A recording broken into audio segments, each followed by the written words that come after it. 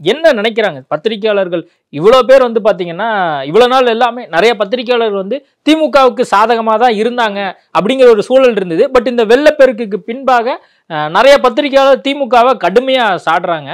என்ன நடக்குது? இந்த விஷயத்தில் நீங்கள் எப்படி பார்க்குறீங்க? இல்லை ஒருவேளை இந்த சம்பவம் ஷபீர்னு பேர் வச்சிருக்க ஒரு பத்திரிக்கையாளரை வேறு மாநிலங்கள்லாம் நடந்துருச்சுன்னு வச்சுக்கோங்களேன். அப்போ வந்து சிறுபான்மையினருக்கு பாதுகாப்பு இல்லை அப்படின்னு நீங்கள் முத கொண்டு பேசியிருப்பீங்க. இப்போ கூட ஜென்ரலாக என்ன சொல்கிறீங்க பத்திரிக்கையாளர் அப்படின்றீங்க. சபீர் என்கின்ற ஒரு இஸ்லாமியரை ஒரு சிறுபான்மை மதத்தவரை நீங்கள் வந்து என்ன சொல்கிறீங்க வாழ விட மாட்டோம் அப்படிங்கிற ஒரு வார்த்தையை சொல்கிறீங்க அந்த இணையம்னு சொல்லாதீங்க. அதை வந்து கரெக்டாக சொல்லுங்கள் ட்விட்டர் ஸ்பேஸ் ட்விட்டர் ஸ்பேஸ்லங்கிறது அது என்னது? அது ஒரு பொது மேடை. இப்போ தெருவில் கூட்டம் போடுறோம் இல்லையா? அது மாதிரி நீங்கள் இன்டர்நெட் வழியாக ஒரு இடத்துல கூட்டம் போடுறீங்க. நாற்பத்தொம்பது பேர் கலந்துக்கிறீங்க.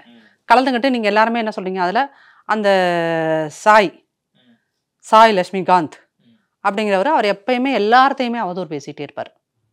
என்னன்னா இப்போ இந்த இணையத்தில்னு ஒரு குண்டர்கள் கூட்டம் இருக்குது இந்த சாய் லட்சுமிகாந்த் மாதிரியான ஆட்கள்லாம் இந்த குண்டர் கூட்டத்தின் தலைவர்கள். இவர்கள் என்னன்னா எல்லார்த்தையுமே எப்பயுமே மிரட்டுவாங்க. எந்த இன்சிடென்ட் வந்தாலும் திமுகவுக்கு எதிராக எதையுமே நீங்கள் சொல்லக்கூடாது. எதையுமே சொல்லக்கூடாது. அவன் சொன்னான்னா இப்போ நான்லாம் நீல சங்கி அந்த மாதிரி ஒரு இஸ்லாமியர் சொன்னார்னா அவர் பச்சை சங்கி அப்படின்னு எல்லாத்துக்கும் ஒரு சங்கி பட்டம் கட்டிடுவாங்க ரொம்ப இப்போ பெண் அப்படிங்கிறதுனால எல்லாம் கெட்ட கெட்ட வார்த்தைகளில் திட்டுவாங்க. இப்போ ஷபீரையும் அதே மாதிரி தான் திட்டிகிட்டு இருக்காங்க ஷபீருக்கு முன்னாடி வந்து லக்ஷ்மி வீக் லக்ஷ்மி வந்து அவங்க பேசினாங்க. அவங்களும் ஒரு காலத்தில் கழகத்துக்கு ஆதரவாக திமுக ஆதரவாக பேசிகிட்டு இருந்த ஒருத்தங்க தான் இணைய ஊடகங்களில். அவங்க பேசினப்போயும் அவங்களோட வீடியோஸ்க்கு கீழேயும் பயங்கர கேவலமாக தான் பேசுகிறாங்க மணி சார் சீனியர் அவர். அவர் பேசினார் அவரையும் இணையத்தில் திட்டிட்டு தான் இருக்காங்க. ஷபீர் மட்டும் இல்லை பேசுகிற எல்லா பத்திரிகையாளர்களையும் ஃபீல்டுக்கு போய் உண்மை எழுதுகிற எல்லா பத்திரிகையாளர்களையும் இவங்க மிக கேவலமாக விமர்சனம் பண்ணிட்டு இருக்காங்க. பத்திரிகையாளர்கள்லாம் நீங்கள் கொம்பா? அப்படிங்கிறது. இதே இதை இணையத்தில் வழியாக பார்த்துட்டு இருக்க திமுக உடன்பிறப்புகளுக்கு நான் இது ரொம்ப பவ்யமாக சொல்லிக்கிறேன். உங்களுடைய ஆட்சிங்கிறது அஞ்சு வருஷம் இருக்கலாம்.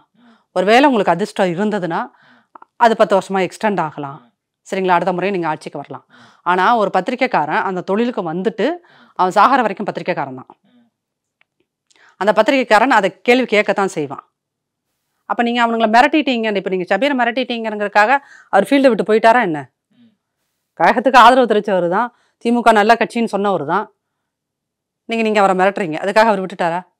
அவர் என்டையர் வட சென்னையிலேயே உட்காந்து வேலை பார்த்துட்ருக்காரு. ஷபீர் தான் அந்த புளியந்தோப்பு இன்சிடெண்ட் அந்த குழந்தைய அட்டைப்பெட்டிக்குள்ளே வச்சு கொண்டு வந்த இன்சிடெண்ட்டை அது மிக கொடூரமான சம்பவம். நீங்கள் மிரட்டின போதும் அந்த சம்பவத்தை அவர் தான் வெளியே கொண்டு வந்தார். அவர் கொண்டு வரலைன்னா அது தெரியாமையே போயிருக்கும். அப்போ நீங்கள் பத்திரிக்கைக்காரன்றவன் நீங்கள் ஒரு கட்சிக்கு சார்பாக எப்பயாவது பேசியிருந்துருக்கலாம். ஆனால் நீங்கள் ஃபீல்டுக்கு போகும்போது அவனோட பொதுமான சாட்சி அவனை உழுப்புச்சுன்னா அவன் உண்மையை பேச ஆரம்பிப்பான். அப்படி உண்மையை பேச ஆரம்பிக்கும் போது தான் நீங்கள் அவனை போட்டு அடிக்கிறீங்க.